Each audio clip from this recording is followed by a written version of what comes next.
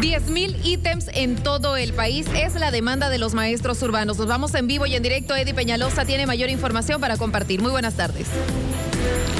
Es así, compañeros, buenas tardes. Eh, bueno, ha sido una semana de movilizaciones de parte de maestros en la ciudad de La Paz, tras no llegar a, bueno, un acuerdo con el Ministerio de Educación. Estoy junto a Felipe Loza, él es eh, dirigente del Magisterio La Paz. Vamos a conocer qué determinaciones se han tomado para próximas movilizaciones en la sede de gobierno.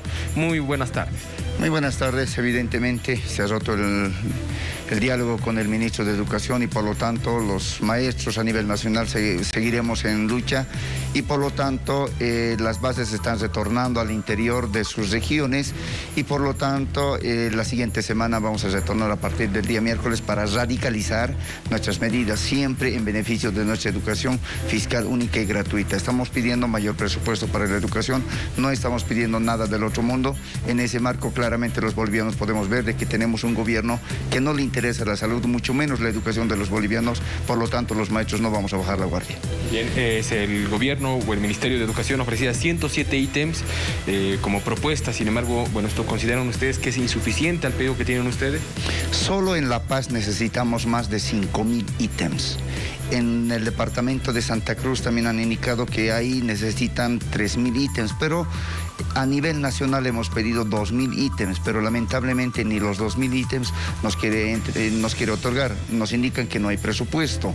Claro, como no hay presupuesto para educación, pero sí hay presupuesto para Ministerio de Comunicación, Ministerio de Defensa, para Ministerio de Gobierno, para reprimir a los trabajadores cuando pidan mejores condiciones de vida.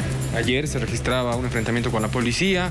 Se tiene reporte de algunos eh, maestros que hayan resultado tal vez afectados por, por este enfrentamiento o algunos detenidos tal vez?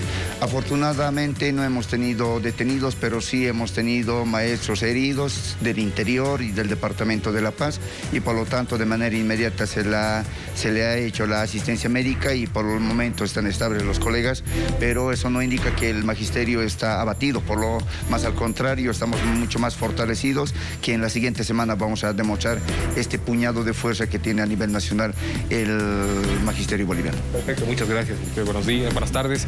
Bueno, has escuchado tú, eh, desde el día eh, miércoles eh, se retomarían las movilizaciones en la ciudad de La Paz con la presencia de magisterios de todo el país. Teddy, por la información.